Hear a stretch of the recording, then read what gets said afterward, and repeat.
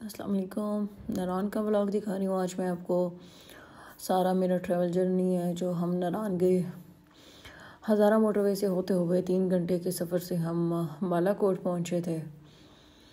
بالا کوٹ پہنچ کے سب سے پہلے جو پیورٹی بھی ہماری چیز تھی، وہ یہ تھا کہ ہم نے گاڑی کا ٹینک فل کرانا تھا، کیونکہ آگے پھر پیٹرول پمپ نہیں ہے صحیح۔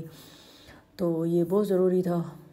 تو ٹینک فل کرایا، یہاں پہ ہم نے کھانا کھایا اپنا۔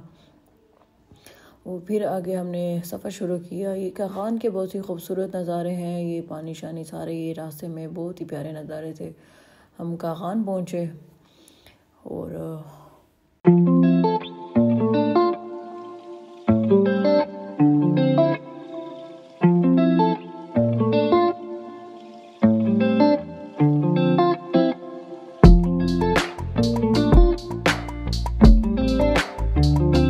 بالا کوٹ میں اسی جگہ پہ ہی ہم لوگوں نے کھانا کھایا بچوں نے فوٹوگرافی وغیرہ بھی کی یہاں پہ۔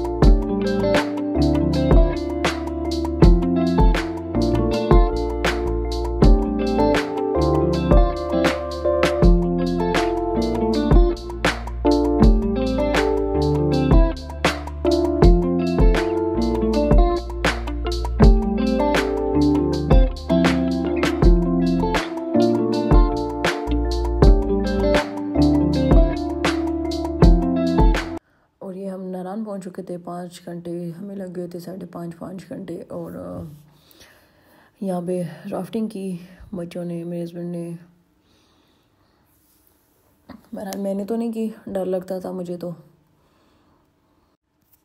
یہ سوئس کاٹیج ہے، یہی ہم نے بک کرایا تھا۔ کائنڈلی بک کرا کے اگر جایا کریں اپنے روم وغیرہ، کیونکہ وہاں پہ پہنچ کے پھر بڑی پرابلمس ہوتی ہیں۔ اور ٹھنڈ بہت زیادہ ہوتی ہے تو ہم ففٹین جون کو ہی گئے تھے لیکن بہت ٹھنڈ تھی، صحیح ٹھنڈ تھی۔ جیسے ہی اوپن ہوتے ہیں نرانا تو تبھی ہم پتہ نہیں دس پندرہ دن بعد ہی گئے تھے۔ تو بہت زیادہ ٹھنڈ تھی اور یہ بہت اچھا تھا، ان کے سویٹس بھی تھے بہت اچھے۔ اور یہ پھر ہم نے صبح صبح بابو سر ٹاپ کے لیے ہم نکل پڑے۔ ناشتہ کیا ہم نے نران میں ہی اور پھر ہم بابو سر ٹاپ کے لیے نکلے تھے۔ اب یہ بابو سیٹ آپ کا بہت ہی خوبصورت نظارے ہیں سارے راستے، ایک سے بڑھ کر ایک راستے ہوتے ہیں، بندہ جیسے جاتا جاتا ہے، حیران ہوتے ہیں ماشاء اللہ سے۔ اللہ پاک کی قدرت کے نظارے ہیں۔ سبحان اللہ بحمدی سبحان اللہ العظیم۔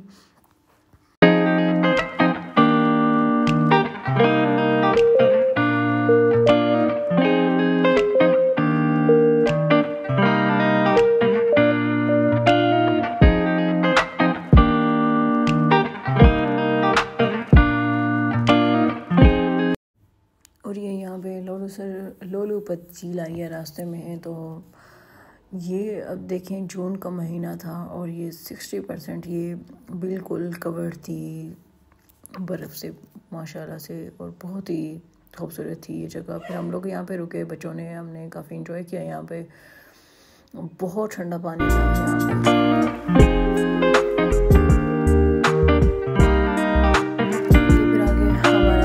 ٹریول دوبارہ سے اسٹارٹ ہوا۔ بابو سے ٹاپ کے لیے تو یہاں پہ دیکھیں بہت بڑے بڑے گلیشیئر تھے تو میں میں کچھ راستہ بنا ہوا تھا، جہاں تک تو راستہ تھا تو ہم تو جاتے گئے۔